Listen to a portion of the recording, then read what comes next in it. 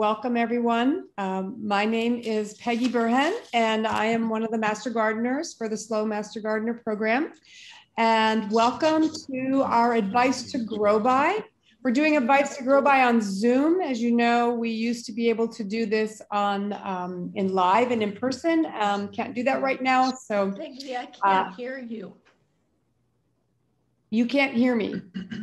I'm not muted. Because that can anyone can everyone else hear me? Becky, can you hear me? I hear you fine. Yeah. Okay.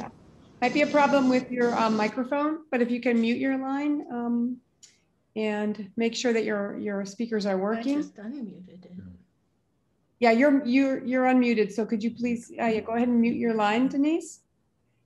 Um, so I'll be moderating today's session. Apparently can't hear us. Thank, thank you, Yvonne. Um, you know, thank you for muting. Can't hear you. Um, uh, okay. yeah, I'm not sure. Maybe, you know what the best thing might be to do, Denise, is to go ahead and, well, you can't hear me. Um, I'm going to type in the chat that you should um, sign off and sign back on again, and that might help. Um, okay, I'm going to send that to you. So, um, anyways, there's always little glitches with Zoom. So um, we're going to be very excited uh, when we can go back in person. Um, so we're going to be talking about um, spring ahead in your vegetable garden. Um, Denise, if you can mute your line, please. Oh, this is going to be a problem. Um, uh, Wait, let me how, let me see. Denise, can you hear me? No. Okay, go ahead. I thought maybe she could hear me. Um, how and why to start seeds and why to get how starting seeds now can get you a jump start on your garden, a head start. So that's our topic. And um, as I mentioned, um, be great if everyone can mute their lines if you haven't already. And uh, the best way normally to view the Zoom is to go into view and do side by side speaker. And then you'll see our speaker um, as well as her slides uh, without a lot of other folks um, in there. And please use the chat box uh, to send any messages um, if there's a problem or if you have a question, uh, we'll monitor the chat box. Um, Becky's going to speak for about 45 minutes and then have time for questions. And I did put the evaluation link into the chat box. So uh, at the end of the program, if you can click on that link, I'll put it in there again. We do really appreciate everyone's feedback on the program. So we're looking forward to hearing what you thought of it. And so now without further ado, I'm going to go ahead and introduce Becky Zielinski. She's been in the agricultural business for nearly 30 years. So she comes to us with a lot of experience. She specializes in, in consulting uh, in agriculture, uh, including vineyard management, as well as ag training and education. And she's been gardening since she was a child. So we won't tell you how many years that is. and it's about 20, right?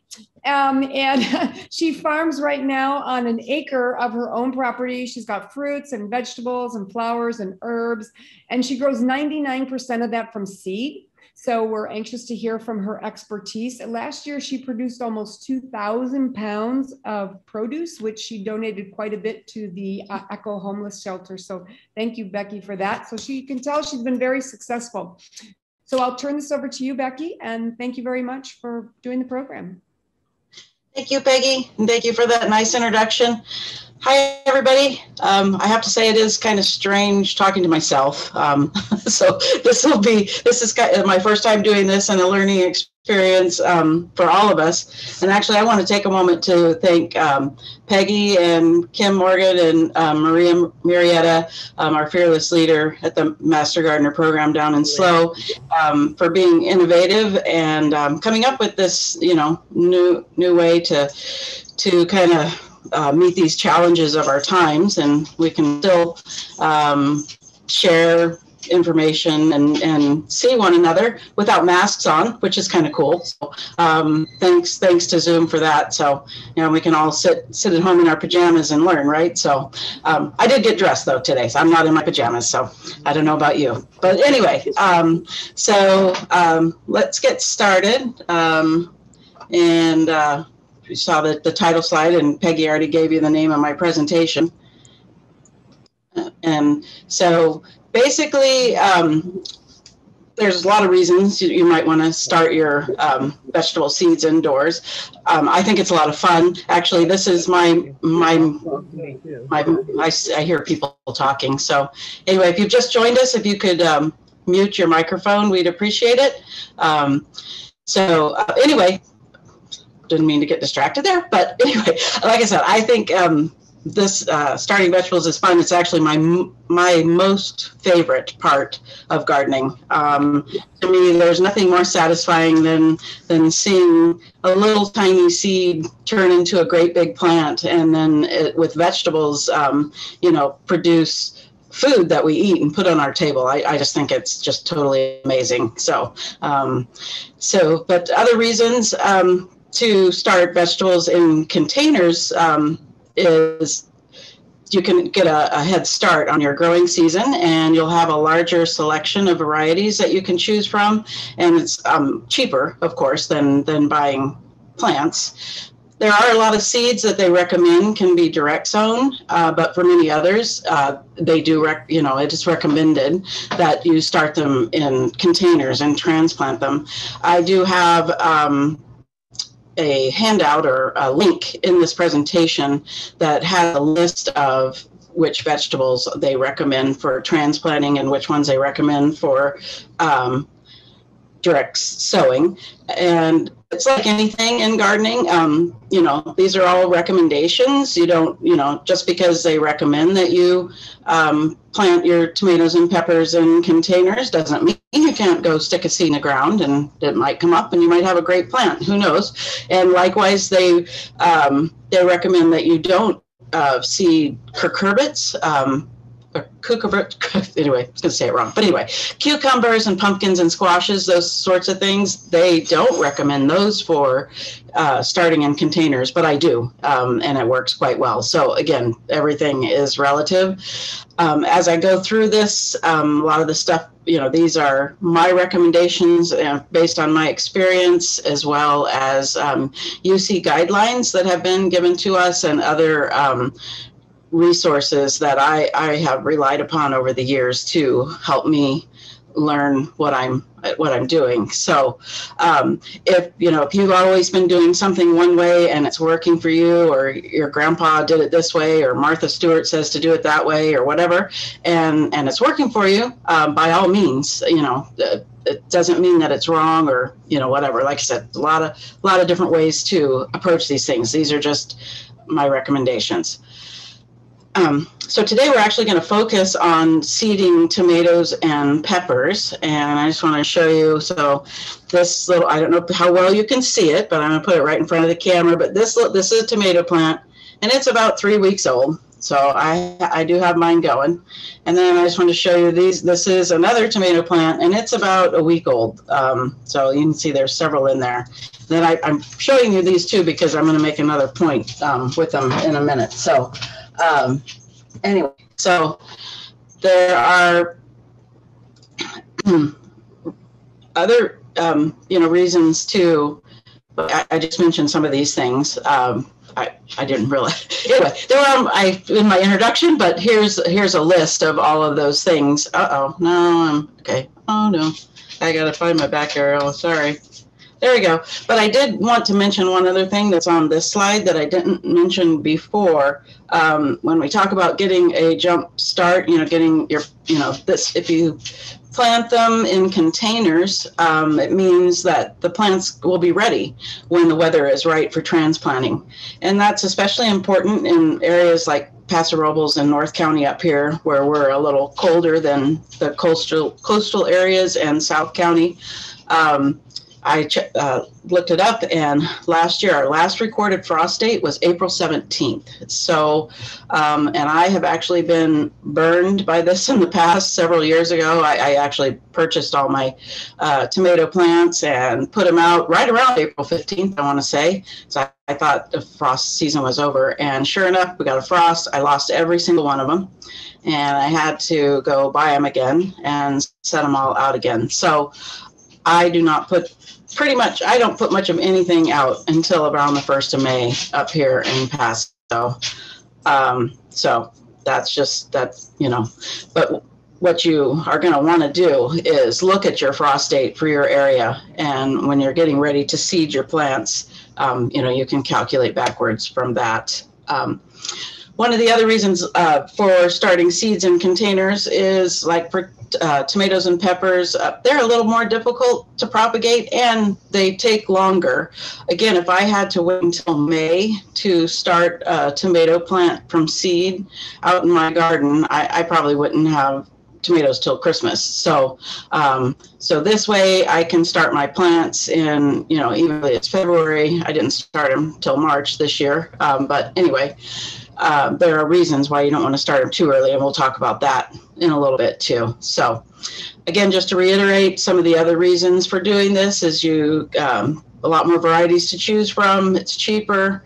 You also get better control of your plant health. Um, not to say that um, plants from nurseries and and stores are, are not healthy, but um, you just have you, you know greater control over that if you do it yourself. And then lastly you can grow the exact number you want. Say you you know you want you know 10 tomato plants but you don't want to spend you know $50 you know so anyway it, it's so it's just another way of of getting what you want. Um, so as somebody mentioned a few minutes ago, um, they had their seeds ready to go, and you know, uh, so it is time to get started. And I know most people, most of you are thinking about this right now. Uh, as I mentioned, excuse me, tomatoes and peppers are one plant that takes a little longer. They take usually at least four to six weeks before they're ready to, to go out. And like I said, I just showed you the three week old plant. Um, to me, they're much more finicky um, to even to get them to emerge. Some, you know, other vegetable crops are much easier to um, to grow in containers or even in the garden than these guys, than tomatoes and peppers. Um, and I, already had mentioned that um, here's the link I was talking about before, and I they'll talk to you about how this presentation it's being recorded and you can see it again. And i think they're going to make a pdf available so you don't have to worry about scribbling this down or um, but, uh, but anyway there is a vegetable planting summary that's available and it does list um, what plants are better suited for transplanting. And as i mentioned that you know it's there those are recommendations so use them at your own will So, um, so when when do you want to get started? So the the basically, like I said, you know, I'm going to look at your frost date, but uh, what you want to do is you want to start sowing your plants um, so that they can be safely transplanted outdoors shortly after germination. And again, uh, look at your last frost date. And, um, you know, the reason I'm doing tomatoes and peppers first, like I said, they take longer. You know, I, I can have I can have beans ready to go in a week or so. It's it's amazing how, quickly some plants grow. Um, so th- those will come next in, in my planting program. So, like I said, there's other plants that even take longer. Some other challenging plants. Um, you know, some plants can take up to 18 weeks to be ready for planting. Um, one of the other things you want to make sure you don't do this too early um, because if you have to hold them back, let's say my tomatoes and peppers are, you know, ready and raring to go, uh, but it's still still there's a danger of frost out there. I have to I have to keep them alive. I have to keep them going and, until I can actually uh, plant them. And sometimes that you're doing that under poor lighting conditions or um, not ideal temperature ranges. So that can that can weaken your plants uh, with time. Not to mention it's it's a lot of work keeping them alive. And of course, it depends on how many um, you're doing. I mean, if you only have, have a few, it, it's going to be, and you can baby those, it's not going to be as challenging for um, someone that's trying to produce, you know, um, several plants. So. So now we're going to talk about uh, so what do the what do uh, plants need to properly germinate, and um, as you might imagine, um, the the four things that they need. Not only do they need these things, they need them in the appropriate amounts, and those are water, oxygen, light, and soil temperature. We're going to talk about each of those individually. Um, so this is how this kind of works. So uh, germination can't begin without water, without the little seeds absorbing the water. And an adequate, adequate continuous amount is necessary during the germination process to ensure that you get um, good germination.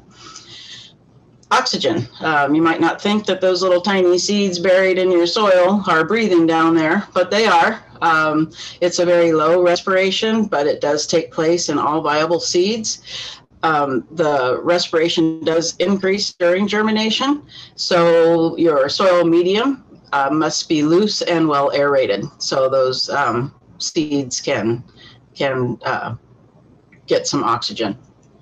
Excuse me.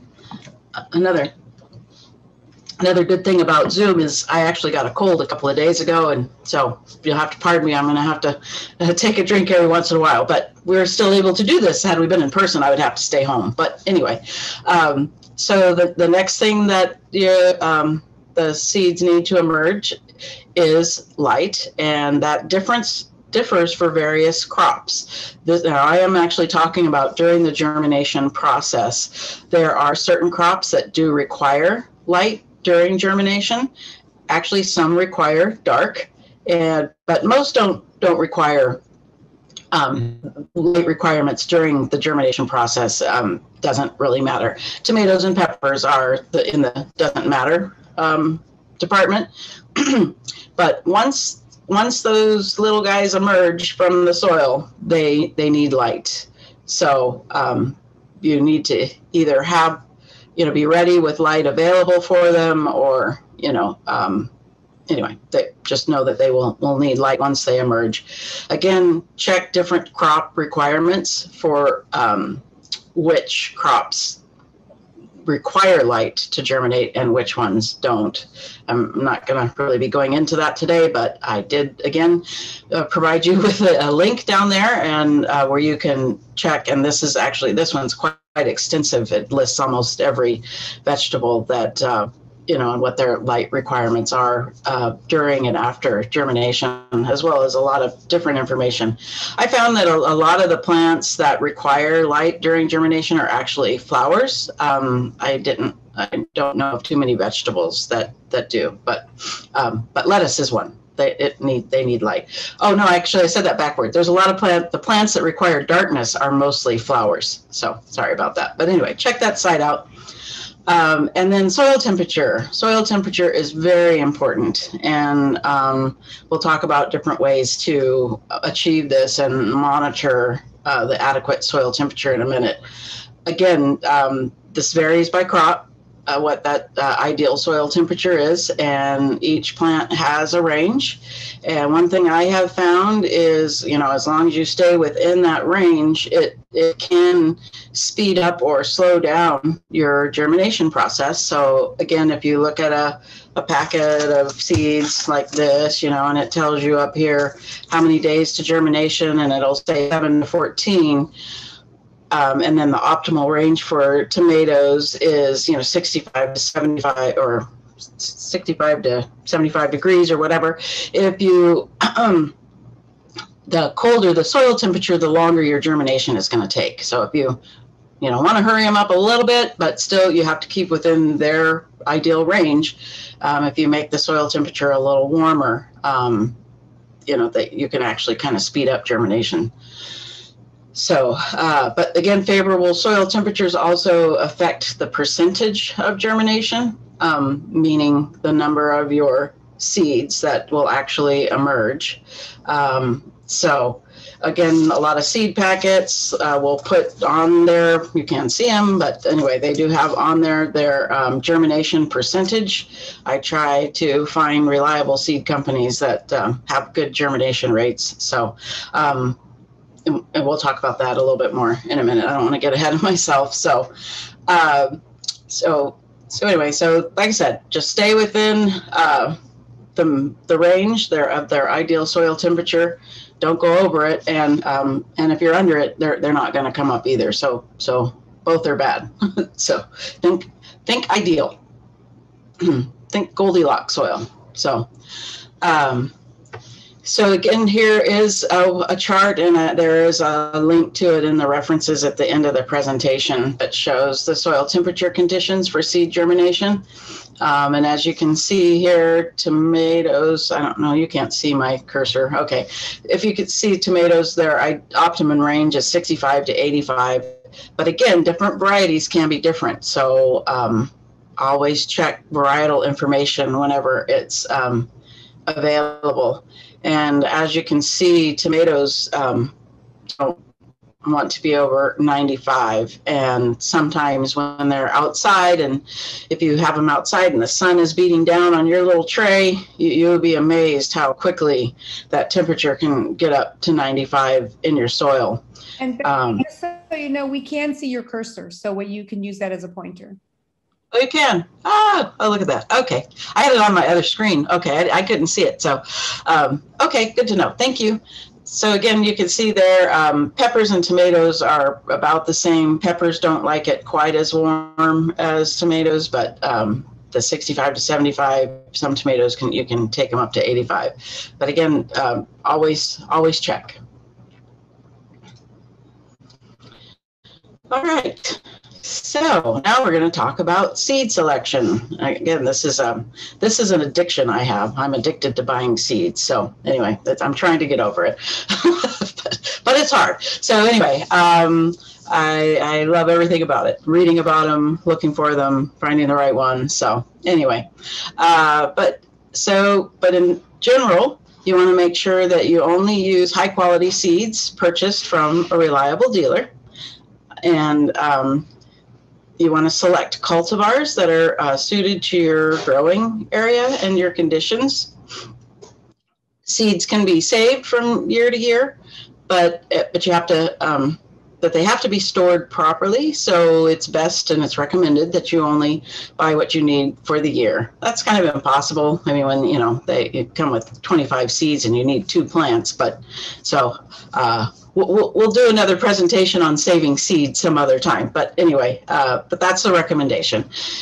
Um, you seed seed companies do take a lot of care and obviously they're knowledgeable in how to process seeds properly uh, so that you do get good germination rates and and as i mentioned before some companies do provide this information to you um, so if you do have it you can also look and say hey you know i i don't want you know this guy's only actually i got a seed packet earlier this year, and they said they put um, twice as many seeds in it because it had a, a, low germination rate. So it's like, oh, okay, that's nice of them.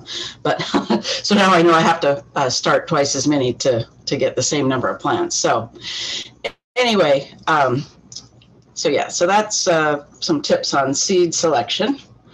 Um, let's see. Oh, I didn't mention this, and I did want to mention that um, you know, you can get them in stores. Uh, there's all, you know, you've seen all the one Burpee and uh, Lake Valley, have, they have it Farm Supply. I mean, you, have seen all the different seeds that are available in stores. There's nothing wrong with those seeds. I mean, they're good seeds, and I've had a good deal of success with them. Um, but I do, I do purchase most of my seeds online because I do like to buy seeds that um, I used a lot of hybrid seeds, and I I like to know, um, well, for instance, um, you know, some seed companies they have a lot of information on their websites, you know, in their catalog about growing conditions and their ideal growing conditions and all sorts of information. So I just prefer to buy mine online so I can be a little bit more picky about what I'm getting. So, not that I don't occasionally pick up seeds at stores because, like I said, I just can't help myself. So anyway, um, so to uh, save or purchase, that that's a decision uh, you'll have to make for yourself, and um, there's some pros and cons to both. Uh, saving seeds, of course, it's cheaper. Um, it's certainly easier with some vegetables than others. Um, kind of a, a, bad thing is if it's not done properly, um, the seeds can carry diseases or not be viable.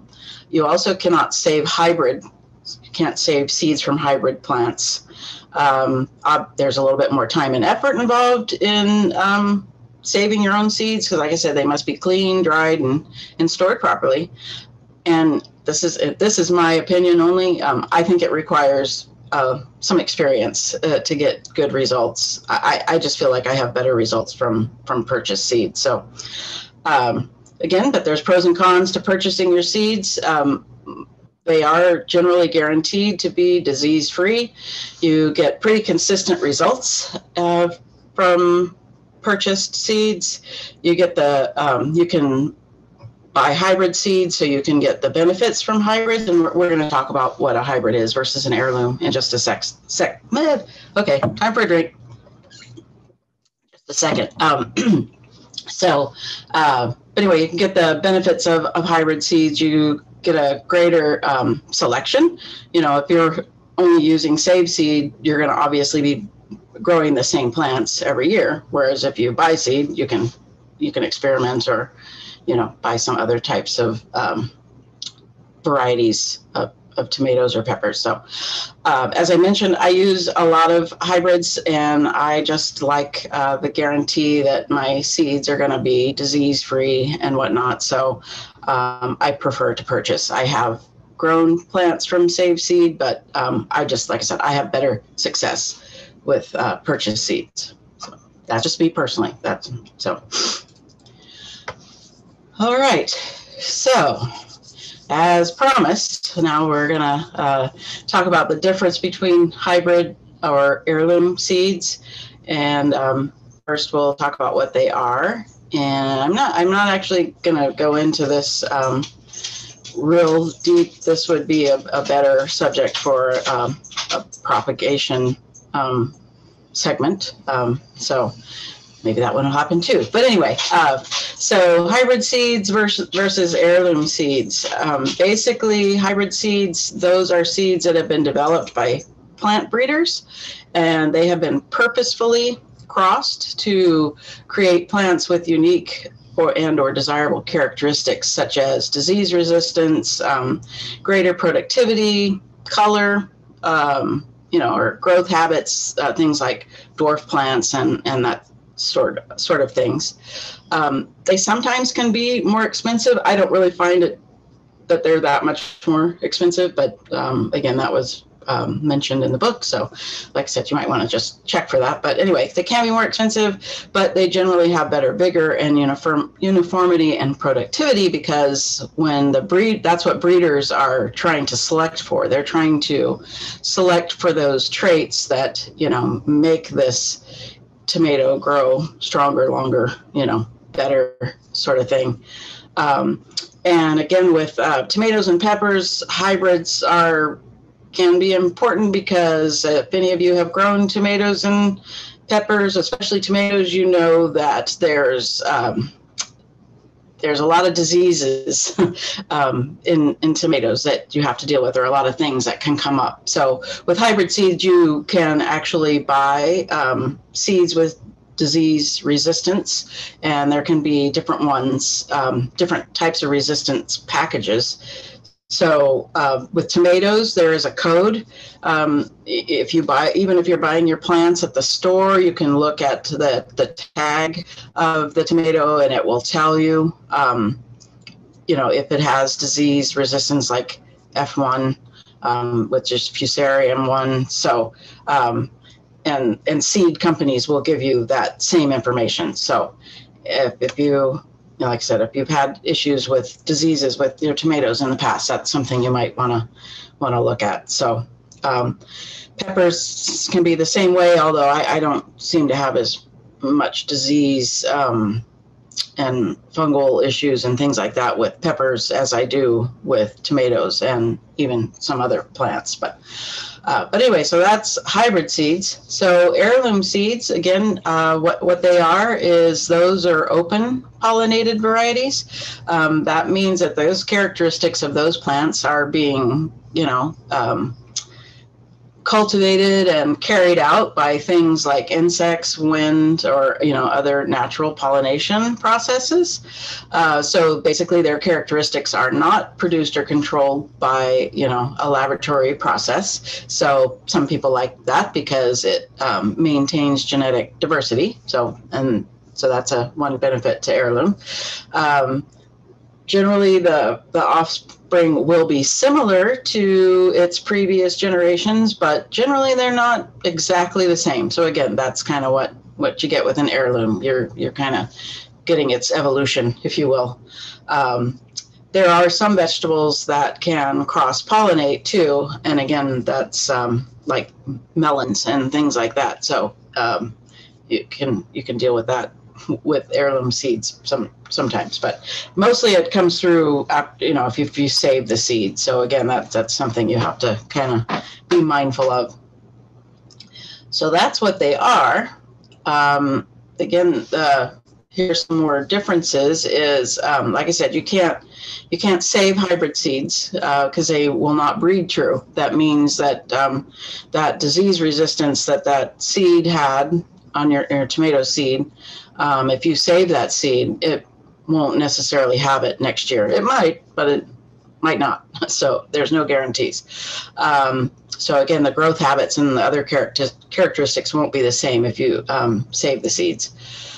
And um, like I mentioned before, the one of the other um, differences is you can get a variety of disease resistance with hybrid seeds.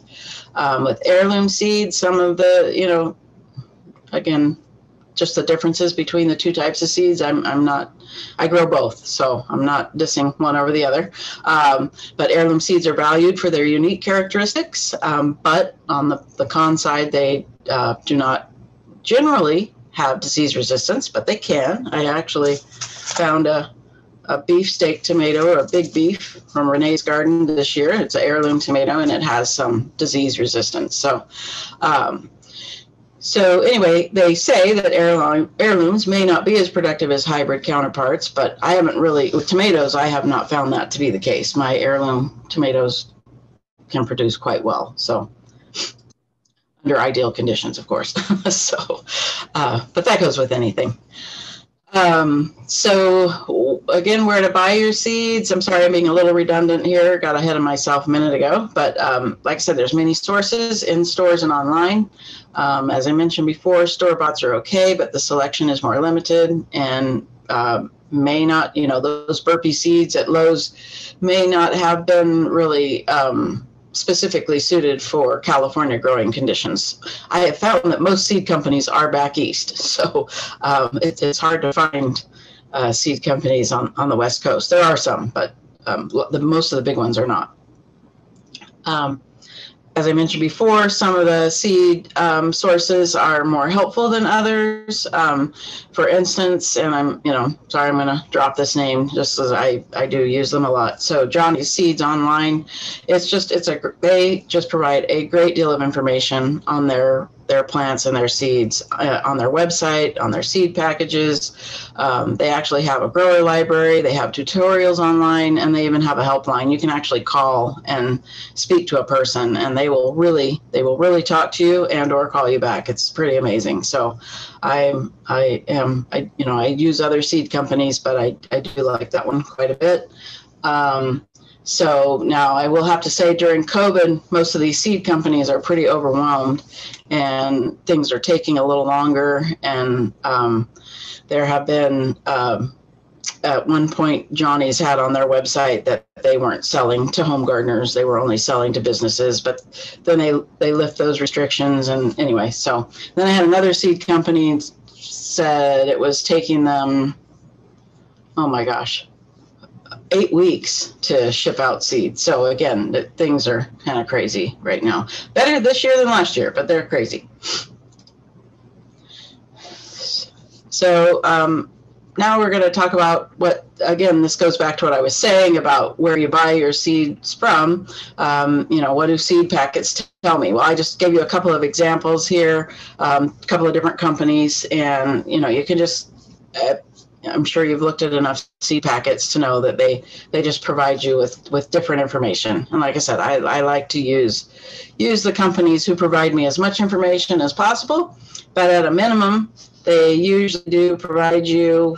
So this one has it over here on the side. They give you how deep to plant the seeds. Um, uh, that one even this one even gives you heat. Um, seed temperature, which is is good.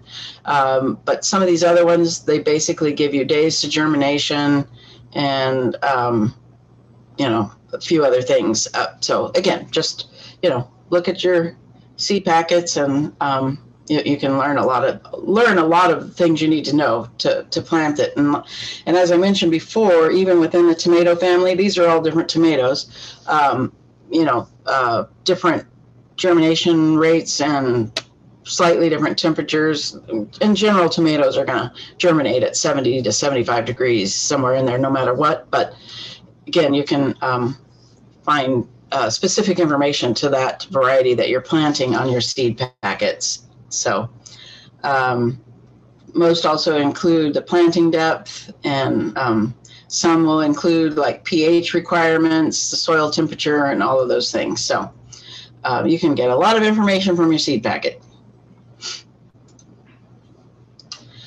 So um, you're all excited, right? Ready to get ready to get started. So um, let, us talk about uh, what you're going to need. And, and, you know, in reality, you, you could do this pretty, pretty minimally. I mean, I know a lot of people use, you know, egg cartons and uh, cups, paper cups, plastic cups, whatever, you know, all of those things are fine. Again, these are recommendations. And if you're going to, you know, use other methods, just, you know, make sure you, um, check them out and, and kind of know what you're doing. There are some basic things that you need to do no matter what tools and supplies you're using. But um, but if you are going to use homemade containers, just make sure they have drainage holes. That's that's pretty important. So um, I use um, what is recommended is actually um, shallow or small pots and seeding trays. As you can see, this this is a, a solid tray right here. It has no holes.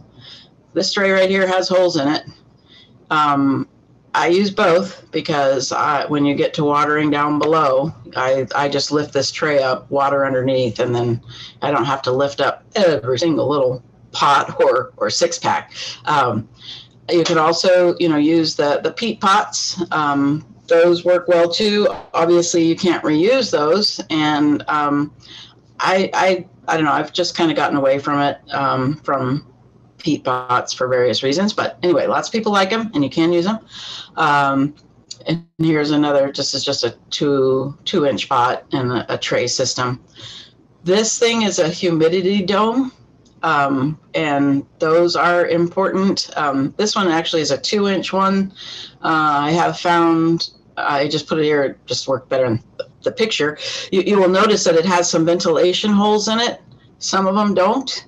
I highly recommend the ones with ventilation holes, and they are more expensive, but I also like the taller ones. I have taller ones because they ventilate better and uh, the plants can get a little bigger in them, but they're more expensive. So these are all all trade-offs. Um, so, and then of course you're going to need some sort of um, shelf or somewhere to set your seedlings in your pots. Um, I have a picture I'm going to show you, but I I have use an inexpensive uh, wire garden shelf. I actually do start uh, most of my seeds at this time of year. My tomatoes and peppers, I actually start in my house. I, I have a greenhouse, but it's even a little too cold out there for, for them when I start them. So um, I bring this wire shelf in and I uh, my heat mats and lights and stuff in uh, to my guest room. Uh, so y- you can also use a, a cold frame and I have never used a cold frame, so I'm not going to talk about that because I don't really have much information for you on it. So, um, and again, I, for me in Paso, I think it would be a little too cold to try to seed tomatoes and peppers inside a cold frame. But correct, somebody can correct me if I'm wrong. So, anyway, so there's some. That's uh, a few of the tools you need to get started. Here's a few more. Some of the basic stuff you can see down here. You're going to need um, a watering can and um, and oh, I didn't put it in the picture, but you're going to need a spray bottle or a, a, mister. I actually have a pump spray bottle that I, I use so that I'm not constantly doing this and the other kind of spray bottle. Uh, plant markers are important. Um, this is also the a little hand garden fork. This is what I use to mix my soil. Gloves. Um, Want to make sure you wear gloves when you're handling the, the soils and and fertilizers if you're using them. And this thing here, and I have it here too. I'm going to show you. It's one of my favorite tools in the garden. It's called a dibbler. I don't know if you have one, but if you don't, highly recommend it. Um, it's it's great. As I want to, I'm going to put it in front of the camera because you can see it's got markings on it. So that's depth markings. That's an inch, two inches, three inches. Um, I use this for seed starting. You see, it's got a little point there, so you can push the seeds down with it. And then I just kind of, after a while, you kind of know where's a where's an eighth of an inch or a quarter of an inch, you know, so I, I can see kind of what I'm doing. Um, I also, an, an aside, I also use this for transplanting. It's pretty neat because again, you have the, the depth markers, but you know, you put this in the hole and you just, you kind of turn it like this and it just makes a perfect hole. So anyway, I, again, look it up, a dibbler, you can get them online. Um, so I really like those. So here's my um, homemade um, light shelf. I have looked at light, sh- light shelf online and they are quite expensive. Um, so I, I make my made my own. This little shelf here I, I ordered online from from Walmart or wherever, and um, they're about 50 bucks or whatever. As you can see, I have uh, infrared light. I have lights up here, and here you can see one of my um, taller domes. Those are seven inches, uh, and they're also ventilated. So, and I have heat mats. So I have my heat mats and my lights, and I attach them to this tray, and that's that's my inexpensive um, light table. As you know, so instead of it being a thousand dollars, this probably 30, 60. I don't know. This probably costs um, all together for, I have four sets of heat mats and lights in there. Excuse me. So, yeah, maybe roughly a couple hundred bucks. But anyway, that's a lot. You probably don't need four sets, but um, but anyway, but you can make your own light table. Um, let's see. You are going to need, um, like I said, a good light source once the plants emerge. And um, windows generally they say to put them in front of a sunny sunny window, but generally not enough light. And then there's this something called the heliotropic effect, and this is what I want to show you. They haven't moved too much yet, but these are the little plants I showed you before, and I don't know if you could tell, but I put them next to the window, and they're already they're already leaning towards a window, towards a light and that's what's going to happen is your little seedlings are going to stretch too much and and bend over trying to get to that light from your window. So um, it's just not not ideal. Last year i actually i made a little time lapse video on my phone of of the little plants reaching for the light. It's kind of amazing how how quickly they they bend over. So um, after the seeds emerge, most most crops need at least 12 to 16 hours of, of light a day. So again, um, lighting lighting is important. Not that you can't take them and set them out in the sun, especially if you're in a warmer climate. You, you can do that, but you're probably going to need to bring them in at nighttime. So just make sure their light source is over their head. Uh, they generally recommend about six inches above the plants if possible. So um, as you can see, mine's a little taller uh, to accommodate for my taller domes. So everything's a so you know we're at about the 45 minute mark. Not that we're in a big hurry, but I just wanted to give you a heads up. Oh, uh-oh. Okay. Let me, um, let's see. I don't think uh, we're restricted. Well, uh, I'm not well, sure if some people will have to leave or not. So I just want to make you aware. Okay. Well, then uh, since since you're going to make this presentation available, I'll just kind of hit the highlights here. Um, the other thing you're going to need is a proper growing medium. Again, I've given you a lot of resources on that and a lot of information about seed starting mixes, and it's on this, so you can. Um, anyway, I'm sorry, I have to uh, go through this too quickly. But anyway, long story short, just make sure you're using a seed starting mix of some sort. Don't use soil uh, don't use potting soil, it's too dense, and don't reuse old potting soil to start seedlings. It doesn't work very well. So, uh, too much risk of disease there. Um, there is something called the germination mix, which is um, especially extra light um, for, and it's better suited for small seeded crops. But and then but then there's a lot of seed starting mixes. Um, again, you can buy those at the at uh, landscape or what am I trying to think of? Hardware stores or again online or Walmart, wherever. Uh, I have some information on growing mediums if you want to make your own. Actually, uh, for most of my seedlings that I do, I do a mixture. I have a third, a third, a third of peat moss, vermiculite, and um, perlite. And I did explain in this presentation what that is, but I won't go into that. Um, I do want to mention real quick that uh, they both have different properties. Uh, the perlite, the white stuff, is actually it's to aerate and for um, help water drainage. Vermiculite is more like a little sponge, and it's for water retention. So you need kind of need both.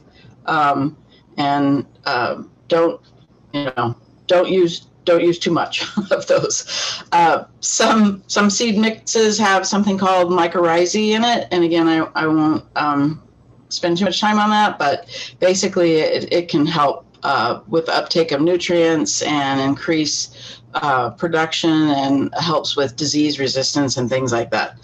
I don't use it on all my seeds, but um, again, tomatoes and peppers, since they're kind of finicky, I, I, like to have that in there. So it's something you check on the label. Um, so we already kind of talked about this, when to sow your seeds. So I, I, won't rehash that one. We'll skip and we'll just go right to the, the steps. And again, I'm sorry, I have to go through these kind of quickly. Uh, important things. No, don't, don't uh, rush too much. I'm sorry, Becky, don't rush too much. I just wanted to let you know the time. okay. okay. All right. Well, I, I, you know, I don't want people to have to, to, to miss it if, and it, um, there's questions at the end. Maybe we, we can go back. Um, so, if we have time for questions, that is. So, uh, so here's the how-to steps. So I think this is important. So I would like to spend a little bit more time on this. Um, basically, the first step is to sanitize, um, especially if you're doing this from year to year. If you're buying all shiny new toys and trays and things like that, it's not quite as important. But definitely make sure that you sanitize your work area, your tools, your containers, especially if you're reusing them. Um, they recommend a, um, a, a, bleach solution, a 10% bleach solution to uh, clean your containers. I actually put it in like just a regular garden sprayer and I lay my stuff out and I spray it with the bleach solution. so it beats kind of hand washing. I found that works pretty good. So, but do both sides and do clean everything. Uh, you're going to want to gather all your seeds and supplies. And uh, the first thing you're going to do is you're going to um, moisten that potting soil. Again, depends on when you bought it, but a lot of times it's kind of dry. So you just want to add enough water so that when you squeeze it, it um, it holds together pretty easily. Uh, but but no water should come out.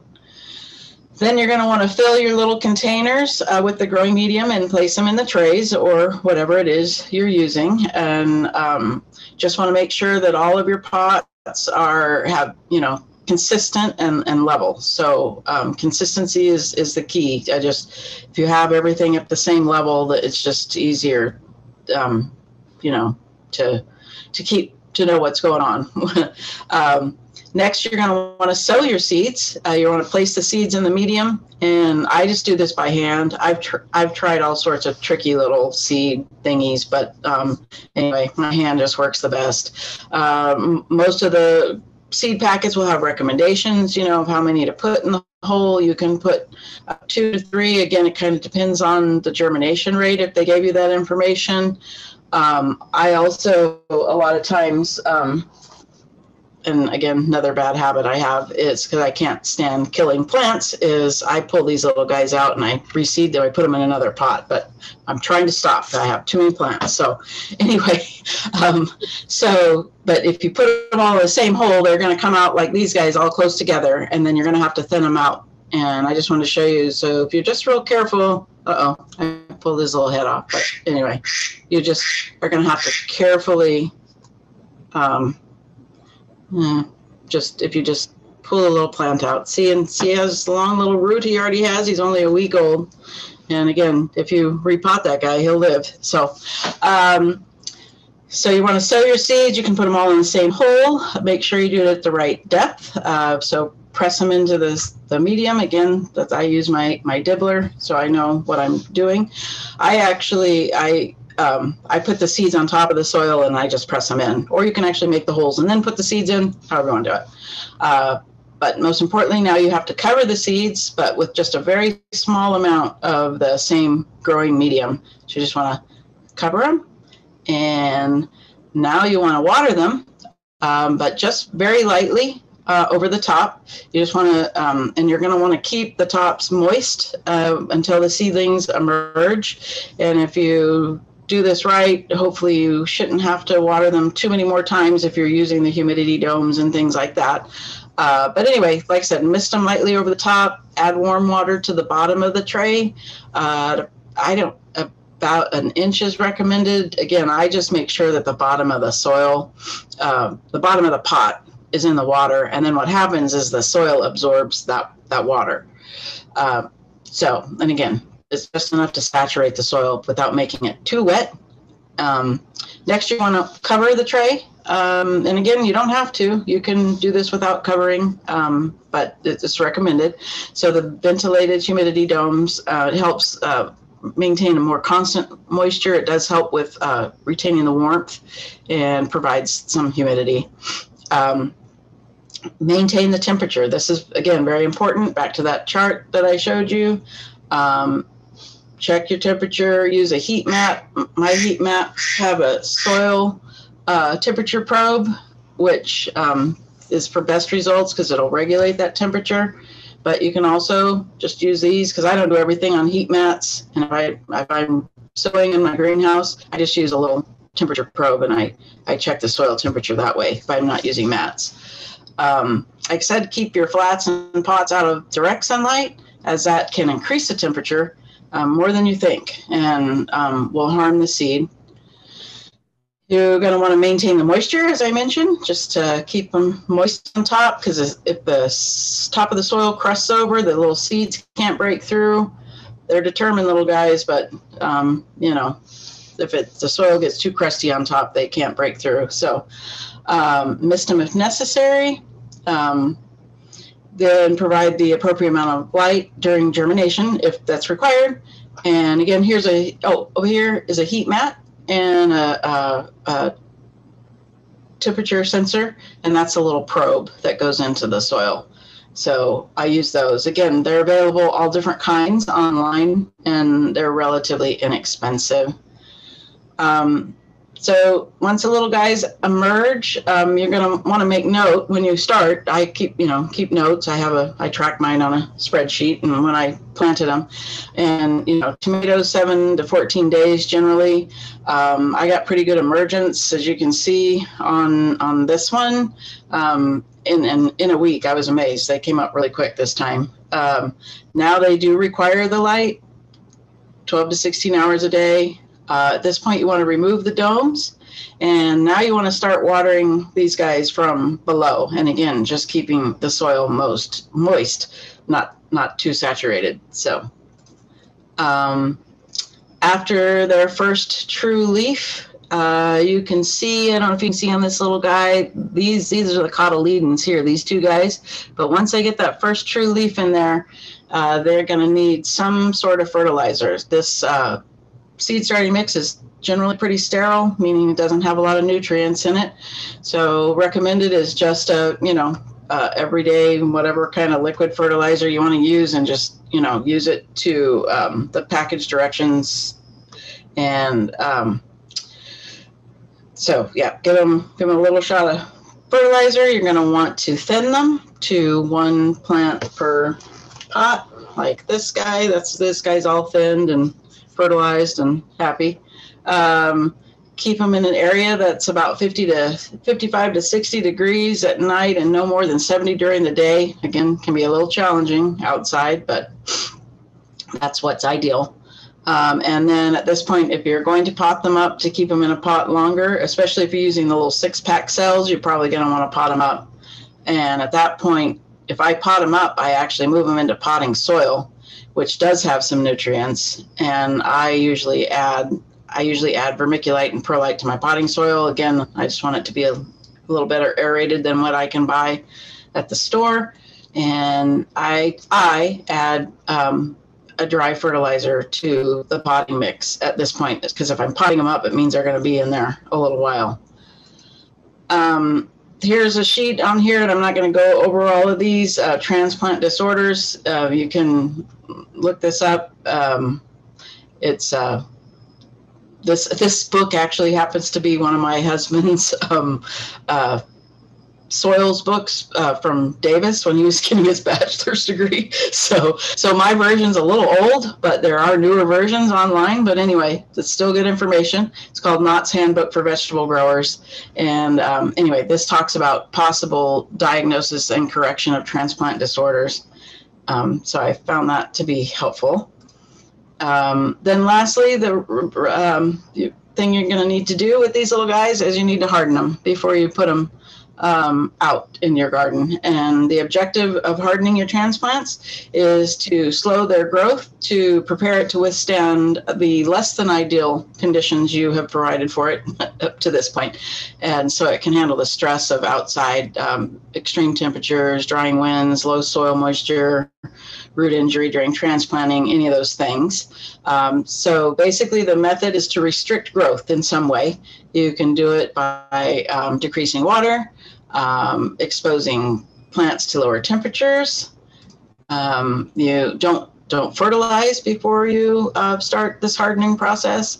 They say that using a combination of those methods is I, is the best way to go. You know, not to like severely restrict water and give it fertilizer. I mean, you know, so you want to excuse me, use a combination of those things.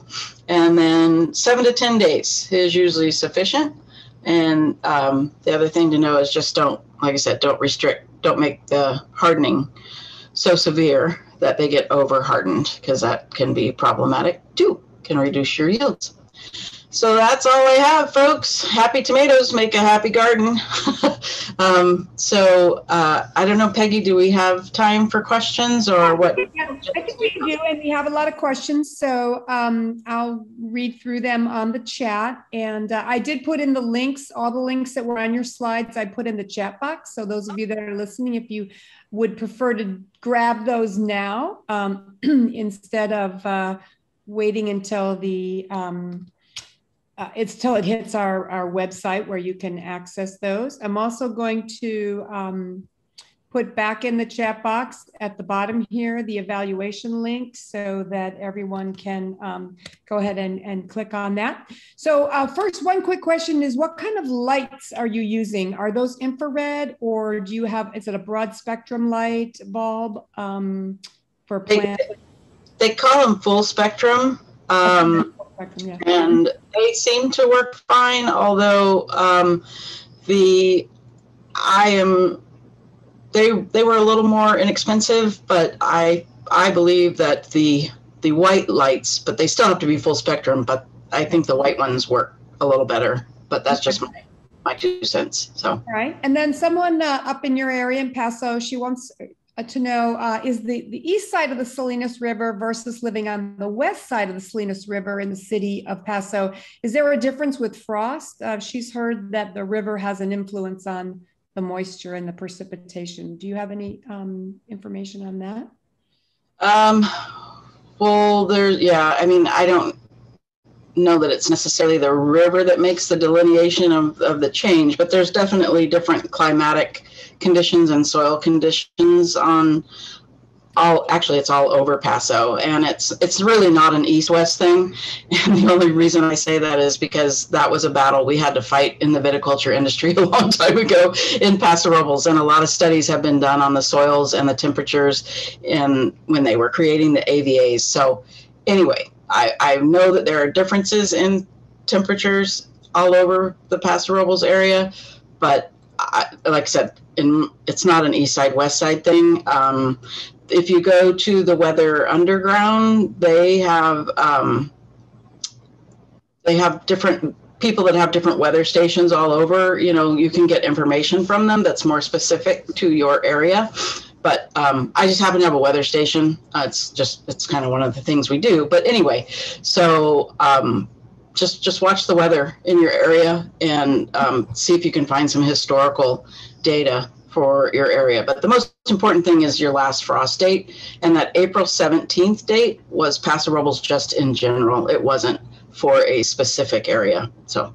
Yes, I've often heard there's quite a few microclimates in SLO County, even uh, South County, North County. So you kind of have to know your area. Um, yeah. Someone is asking what kind of soil you recommend, but you've already answered that question in how you mix your um, your soil. And I also put the link in the chat for that you sent for the UCANR. Oh, um, and then oh. Someone wants to know um, how do you know which plants need four weeks versus 18 weeks in terms of germination? Is that on the seed packet? I'm sorry, can you repeat the question? Yeah, how do they know which plants are going to need four weeks versus 18 weeks of germination? Is this information on the seed packet? Yes. Okay. Yes, it is. Yep. Um, and, um, actually, one of those charts I gave you too. Okay. It, it's on those as well. Okay, I put the links to those charts in as well. Um, someone is saying that they use half gallon milk containers as little mini greenhouses when they uh, take their plants outside um, early, so they can take their plants outside earlier. Is that okay protection, or how, what do you think about that? Oh, do you mean to like cover them with them? Yeah, I think they leave the top open, and you know you put the you cut off the bottom and put the plastic milk container on top of a small plant. Um, well, it's probably better than leaving them unprotected. Um, I don't find, I mean, I have done that in the past. I don't find that it provides too much protection. If you're wanting to put them out earlier and try to protect them from frost, I would recommend uh, floating row covers. And you can look that up online. Just uh, Google floating row cover, and um, there's different places you can get it. Basically, it's uh, it's a cloth. It's a white cloth. It comes in varying um, degrees of how much temperature or light it lets through. Uh, I actually use it in on my lettuce most of the time up here in Paso because I can grow lettuce later with a little bit of shade for it. But anyway, it, it could do a variety of things. But anyway, I would recommend floating row cover. You just you put little can put little hoops in the ground and then you attach it, and it actually provides better um, temperature and frost protection than plastic. Okay, and maybe keep some aphids and uh, other bugs off your plants too. That's that too. Yep. Um, someone is asking if you have a seed company that you've had success with for North County, but I think you might have covered that. And you also mentioned, you know, you've had great success with Johnny's. But is one seed company have any seeds that you think are more appropriate for North County? More appropriate for North County. Um, no, because like I said, it's I, I to me the finding seeds produced uh, specifically for the West Coast are difficult. There is a seed company up in Washington State that I discovered last year. It's called Osborne Seeds. I don't have one anyway, but look up Osborne O S B O R N E. Like I said, they're up in Washington State, um, but they do also, you know, sell seeds all over, you know, Okay. For, all, for different places, but they are producing the seeds on the West Coast. So you really just have to kind of read about them and um, look for a seed company or on their sites if they give you hardiness zones or um, things like that. Um, again, a lot of seed, they will tell you, you know, this seed is ideal for hot weather or below this latitude or or whatever. And so so that's what that's what i look for. Um, again the um, the more generic i don't want to call them generic that's not a good word to use but the more popular seed companies like like um, burpees and lake valley and renee's garden i mean those are just more generic and i think they're designed to grow just about anywhere. And again i've, I've had I've had good luck with them. So, um, you know. Well, someone, someone wants to know what's your favorite tomato variety? Oh my gosh. Wow. That's like picking your favorite child. Um, so, uh, in terms of favorite, favorite to grow, favorite to eat, favorite to, um, I, I don't know. Um, what you had the most success with in North County?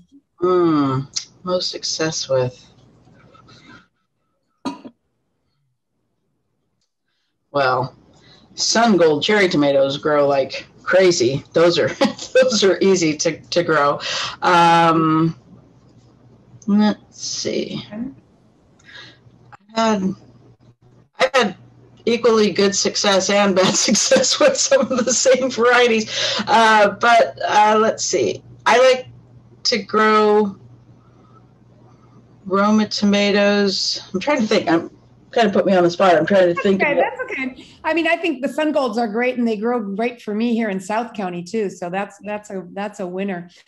Um, yeah, else to know. Um, they got mushrooms in their tomato this year, and they may, yeah they may have used old soil when they potted them up. But do you think that's what it is? Uh, and more importantly, will they be fine?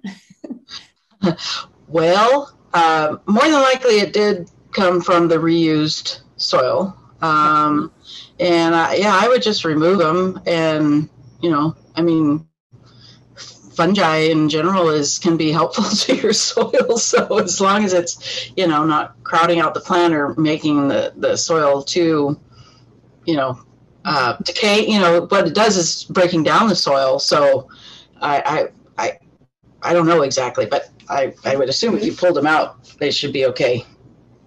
Okay, and then uh, can they soak the seeds before planting in the garden? Someone is saying they have butternut squash and honeydew melon and some others. They're wondering if they should soak them. Yeah, there are methods for for doing that. Um, beans also work quite well. Again, just in a moist paper towel. You know, you moisten the paper towel and put the seed, lay the seeds out on it, and um, stick it in a Ziploc bag. Um, you can, you know, those harder coated seeds, I think you're going to have a much harder time um, with those, perhaps, uh, than you do. Uh, you can even do that with tomatoes and pepper seeds, but um, like I said, I I don't know. I've never tried it with those the harder seeds, but I'm I'm assuming you you could do it. You might just have to wet them more often, or maybe a little bit bit more. So. Yeah, I've heard that on beans as well. That it's it's good to kind of proof them, if you will, and get them started uh, in the the wet paper towels. Yeah, that's how I do it.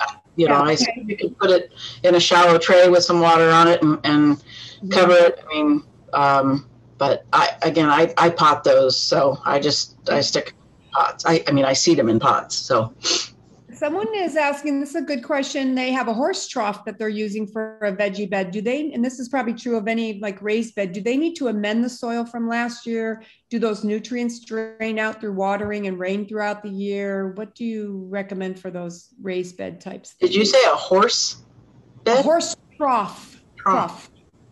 Okay. You know, those, those big metal um, containers that you give horses water in. so so basically, they grew something in it last year. Right. Like so, it's a raised bed. Yeah. Oh, yeah. it's like a raised, raised bed. I always am in my my raised beds every year. I just um, just give them some you know some fresh soil so they get some more nutrients and then i would recommend testing it so um, at least checking the ph on it if nothing else and seeing if you know how healthy the soil is um, so I've, I've never grown anything in, in metal like that. My raised beds are um, wood. So as long as it's properly drained and not contaminated with anything, I mean, I, I, would think it would be fine. But I would amend it. Like I said, I amend my raised beds every year. So, okay. so you just add more uh, soil from. I add. Yeah, I, I find that you know after I've had a couple of little crops in there, you know, throughout the year, that you lose a lot of soil anyway, and um, they can either become too compacted. Mm-hmm. Um, so I go in there and you know just rework the soil, add some fresh soil, you know, kind of like starting o- over, and then I fertilize, you know, individually. Well, actually, like I said, I generally test them and make sure, you know, so like if I'm making a bed of potatoes, which likes low pH, you know, then I make sure that that, that particular bed has the requirements for that plant. Um, so I don't, I try to keep like plants that like the similar soil conditions to together. But anyway, if I'm going to have to amend it in any way, I, I check it and I amend that bed individually for what's going in there. And then if I I'm going to add additional fertilizer. I do it at planting. So. Okay. And you can uh, also grow a cover crop on your off season of um, uh, peas or fava beans and put some nitrogen back into the soil. I know some people have success with that to amend the soil from last year. Um, someone's asking how to test the uh, NPK on their raised beds. They did a rapid test from the hardware store, but it doesn't seem to be that good. Didn't seem to do what? it didn't seem to be that good she stated. I'm not sure exactly what that means but exa- um, you know in terms of how, how good. Uh, but how do you recommend testing for uh, nitrogen phosphorus and potassium in your beds?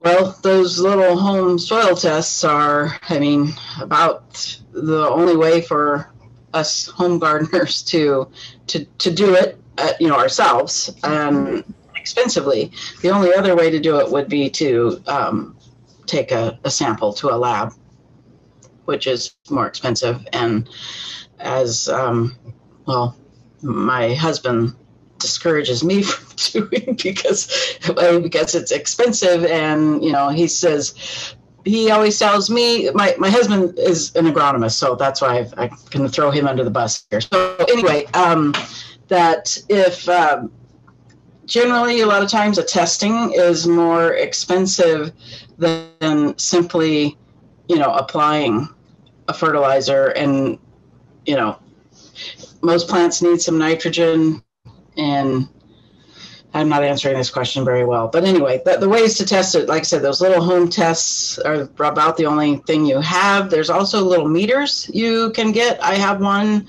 Uh, i have a ph meter and um, but no, it doesn't. It doesn't give you nitrogen and that. No. So basically, yeah, those little home quick tests or taking it to a lab are the only ways you're going to know for sure. Okay. And someone did, did, put in a question about cats uh, getting into your garden beds, but I see Kim has answered that in the chat, so thank you. And she put in a. She uh, said. A link for how to yeah she's suggesting uh, they don't like newspaper and they won't dig through it so laying down newspaper so that's a good um, tip oh. So um, also a couple people wanted to know how to save the chat, and you can save the links in the and the chat by clicking on the three dots where you go to type your message. There's three dots to the right, and if you click on that, it will say Save Chat. So if you wanted to save the um, information in the chat, you can do that. And um, no new questions um, have come in. So I want to remind everyone to um, go ahead and please click on the link for the evaluation. We really look forward to hearing from you. Um, and uh, we got a lot of thank yous as well, Becky. So thank you for the presentation. Oh, you're welcome. It was fun that said, you know, you guys did a great job, it says. So thank you for answering all our questions. And um, we thank you all for joining us. We're get we're a little new at this. I know a lot of people have been using Zoom. Um, and so uh, thank you for being there for us as we try out this new system that we've now just used a couple of times. So thank you, everyone. I think we'll sign off and you can get the slides and the recording on our website um, probably it will take us um, about a week to get that up so you can check back and uh, revisit it. Okay, thank you.